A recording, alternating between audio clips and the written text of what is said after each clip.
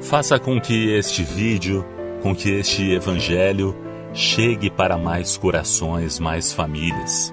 Se você curtir, se você comentar, se você compartilhar, tudo isso vai permitir que o YouTube sugira este vídeo para outras pessoas. Então curta, comente e compartilhe este vídeo. E claro, se inscreva em nosso canal.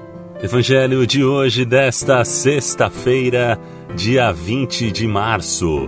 Evangelho segundo São Marcos, capítulo 12, versículos de 28 a 34.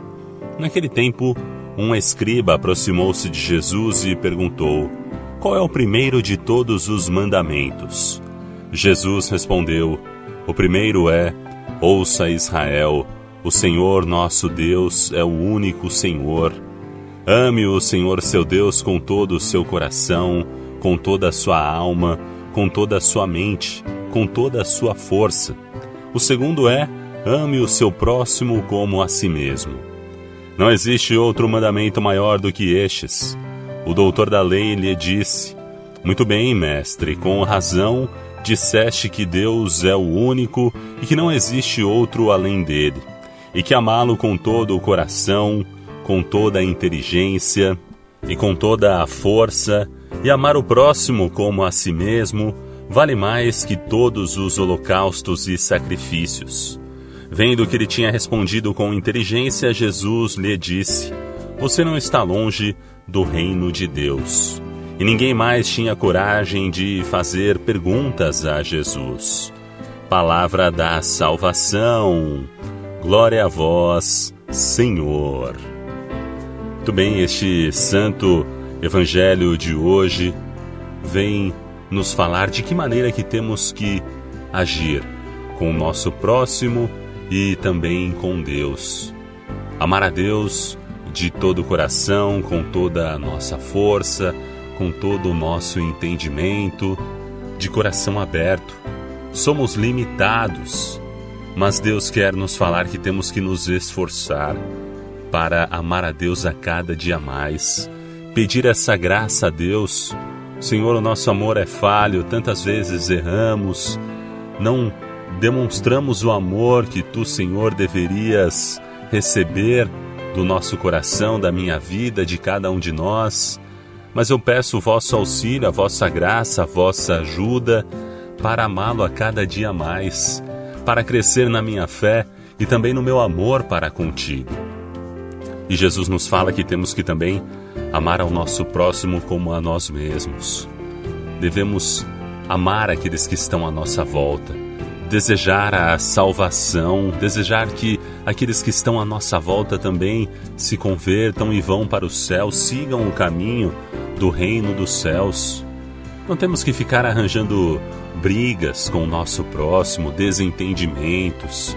Devemos buscar a paz, a harmonia, para juntos irmos em direção à Jerusalém Celeste, o caminho de nosso Senhor Jesus Cristo. Então, olha só, né? De que maneira que a gente pode também demonstrar o nosso amor a Deus com todo o coração, com o nosso entendimento, com nossa força, com uma maneira bem prática de mostrar isso com as nossas atitudes, amando o nosso próximo olhando para o nosso próximo como nosso irmão, como nossa irmã, e desejar a salvação dele, desejar o melhor para ele, desejar que ele vá para o céu e lutar por isso, acolher, dar uma palavra, um sorriso, um bom dia, uma boa tarde, dar o nosso melhor para o nosso próximo. Assim vamos também, consequentemente, estar amando a Deus, porque Jesus mesmo fala, né? Aquele que diz que ama a Deus, mas não ama o seu próximo que está vendo e Deus que ele não enxerga. Ele diz que ama a Deus que não enxerga e odeia o seu próximo que está enxergando ali, que está ao seu lado. Ele é um mentiroso. Ele diz que ama a Deus, mas não ama a Deus. Então, olha só, né? é importantíssimo olharmos com o olhar de Jesus, com o olhar da fé para os nossos irmãos e irmãs e demonstrar este nosso amor a Deus. Enchemos, nos enchemos da graça de Deus, do amor de Deus em nosso coração. E a partir daí, temos que colocá-lo em prática no nosso próximo, naqueles que estão à nossa volta. E no evangelho de hoje, o escriba se aproximou ali de Jesus e perguntou qual é o primeiro de todos os mandamentos. Aí o Senhor falou, Jesus falou: ame o Senhor seu Deus com todo o seu coração, com toda a sua alma, com toda a sua mente, com toda a sua força. E o segundo é ame o seu próximo como a si mesmo. E aquele escriba concordou com tudo isso que Jesus falou, estava de acordo, e Jesus falou: Olha, você não está longe do reino de Deus.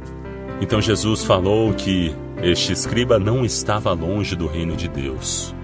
Porque ele sabia sim, na teoria concordou com toda aquela teoria que temos que amar a Deus, que amar o nosso próximo como a nós mesmos, mas para estarmos envolvidos no reino dos céus, para estarmos em comunhão verdadeira com o reino dos céus, não basta só saber, ter conhecimento disto, mas temos que colocar em prática esses ensinamentos. Por isso que Jesus disse: Olha, você não está longe, você está próximo aí do reino de Deus, né? Está no, no caminho.